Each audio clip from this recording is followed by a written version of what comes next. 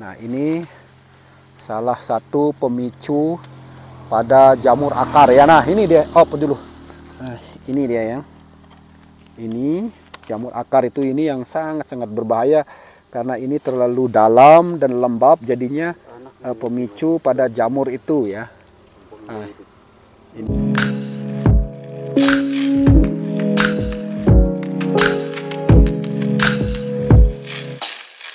Halo, Assalamualaikum warahmatullahi wabarakatuh. Welcome back to my channel. Kembali bersama saya Gahar Petani Gangga. Di sore hari ini uh, kita uh, lagi di kebun. Uh, Sekarang untuk tanam ulang pada durian ya. Karena ada durian kita ini yang lagi bermasalah ya. Ini bermasalah ya dan ini harus kita gali. Ayo pacuh kita gali dulu. Ini kita ganti. Karena ini uh, stagnan istilahnya tidak bisa berkembang. Hidup tetap hidup tapi uh, kondisinya kayak gini terus. Kalau di, kita biarkan terus jadinya kita itu uh, terlambat uh, dengan waktu. Jadinya sekarang kita uh, ini kita ganti kita ganti dengan bibit yang baru. Oh kita angkat dulu bibitnya pak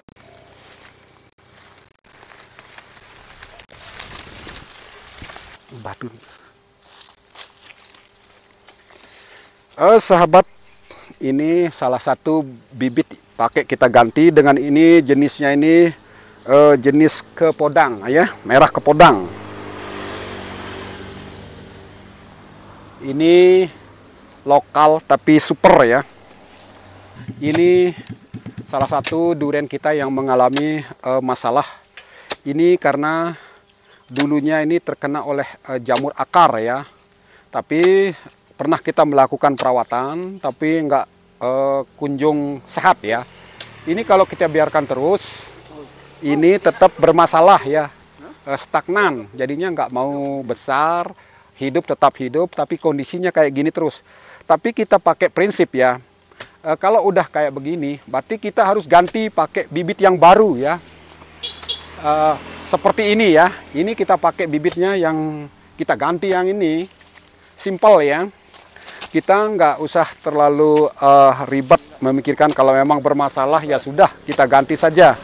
Pakai uh, bibit yang baru ya. Ini kita copot. Lalu kita ganti pakai yang baru. Oke. Okay. Oh, baik sahabat, ini uh, salah satu cara kita untuk menangani masalah uh, gangguan pada uh, pohon duren. Tapi kita memakai dengan sistem kita ganti saja pakai yang baru ya. Karena ini uh, lagi bermasalah nggak kunjung sehat jadinya kita ganti pakai bibit yang baru. Ini kita gali dulu dan nanti ini kita akan uh, karantina dulu. Ini siapa tahu nanti bibitnya bisa pulih lagi ya. Nah, ini ini salah satu uh, pemicu ya proses penggalian pada duren yang uh, bermasalah dan uh, nanti kita ganti pakai uh, bibit yang baru ya. Uh, kalau volume besarnya sama ya, sama. Ini dia ya. Nah ini. Nah,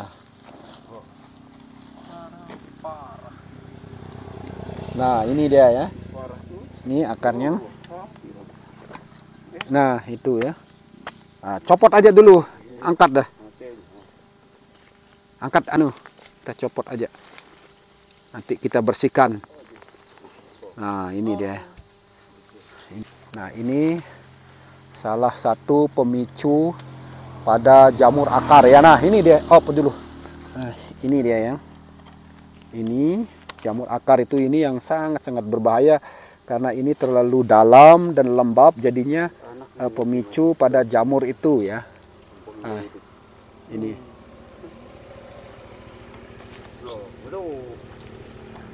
Berarti ini sudah peluang untuk hidup itu sudah uh, sudah sangat-sangat tipis ya. Jadi ya. Halo. Halo jadinya sekarang ini ya ini sudah tidak bisa dipertahankan lagi ini. Ini sahabat petani ini ngerinya yang namanya jamur akar itu ya. Kelihatan dia masih hidup dan tidak bisa berkembang karena ini uh, pemicunya pada jamur ini ya. Hmm, seperti ini ya. Nah ini dia. Kalau jamur akar atau kanker pada akar ini sangat berbahaya dan ini kita harus uh, sterilkan dulu karena nanti uh, kita menanam lagi ya. Sudah tidak bisa dipertahankan ya dirobohkan aja. Ya dibersihkan. Ya oke. Okay. Tadi lubang yang tadi sudah uh, kita timbun dan sekarang kita membuat gundukan ya uh, untuk penanaman ulang pada uh, durian yang tadi uh, bermasalah. Uh, ini proses untuk uh, penimbunan lubang yang tadi sudah kita gali. Uh, ini cara kita penanaman, tapi nanti kalau udah sekian bulan lagi baru kita memerlukan uh, pupuk ya. Untuk sementara kita nggak pakai pupuk dulu karena ini tanahnya masih bagus. Uh, nanti udah uh, dua bulan atau tiga bulan lagi baru kita uh, berikan dia pupuk ya ini hampir rampung uh, sebentar lagi kita uh, gali di tengah untuk uh, membuatkan lubang ya untuk penanamannya tadi sudah kita timbun dan sekarang kita uh, gali dulu sedikit. Kita gali nanamnya tidak usah terlalu dalam. Ya seperti ini ya. Uh, untuk sementara kita tidak memberikan pupuk dulu. Nanti setelah uh, satu bulan atau dua bulan baru kita uh, memberikan pupuk dulu. Karena ini ada airnya ada keran jadinya nggak masalah ya oke diangkat aja dah bibitnya.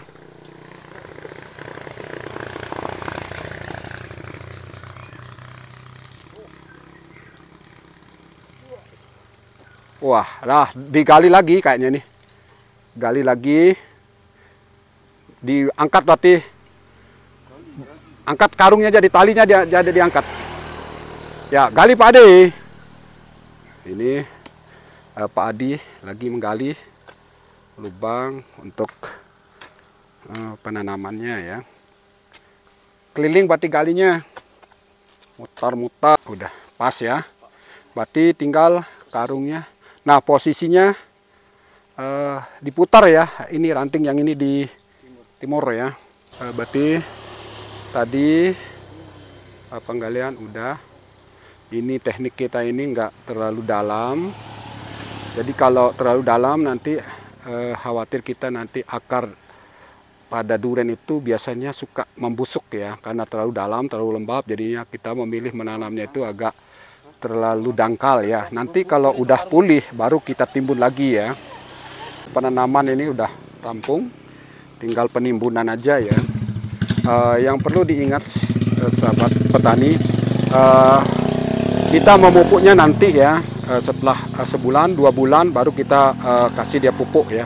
Kita istilahnya ini dulu karantina dulu ya. Kita kasih pulih dulu baru kita memberikan pupuk. Kalau yang ini uh, tumbuh subur bagus. Ini baru setahun eh dua tahun dua bulan ya ini. Baru dua tahun dua bulan udah tinggi sekitar 3 meter lebih sama seperti yang ini.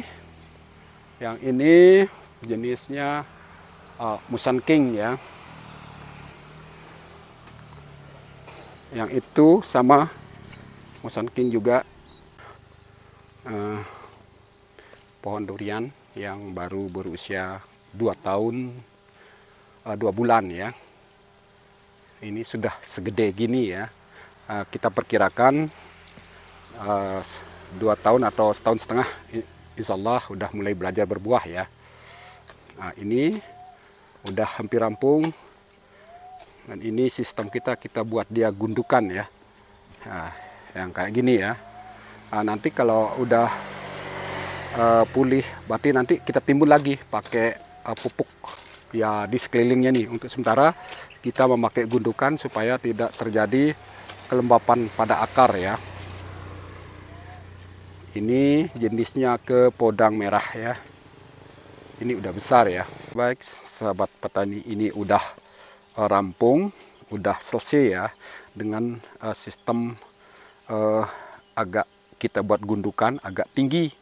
Jadinya nanti kalau uh, ini udah pulih baru kita timbun lagi di kita tambah tanahnya lagi jadinya posisinya uh, seperti gundukan.